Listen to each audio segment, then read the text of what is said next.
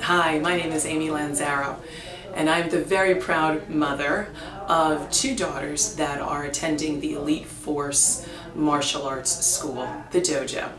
Um, Raquel is nine years old, and she is currently going to be graduating with her black belt this Friday, so we are very, very excited.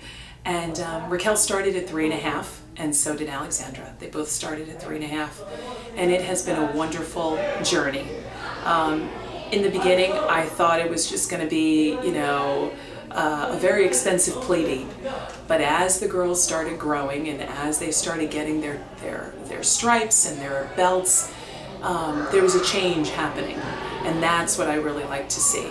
Um, they really got into the, the dojo and um, the instructors here were wonderful and they really made us feel as if we were and still are part of a fantastic family. Um, the most important thing that I feel is that my girls are getting excellent instruction by a wonderful team who that they that they look up to all of the time. Um, the youth here is just amazing. Um, and they are first and second and third degree belts themselves.